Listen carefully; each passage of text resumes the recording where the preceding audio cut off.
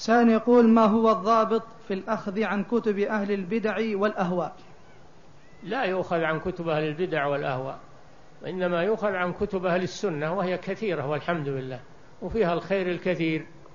فلا تقرب كتب أهل البدع إلا إذا كان قصدك الاطلاع عليها من أجل الرد عليها وإبطال ما فيها هذا عمل طيب.